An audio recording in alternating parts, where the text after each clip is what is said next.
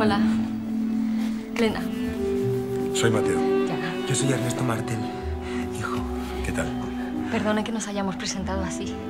Es que he oído que está haciendo pruebas para su próxima película Sí. y me encantaría que me probara.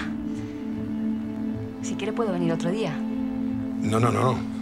Ya que está aquí, vamos a leer algo. Vale.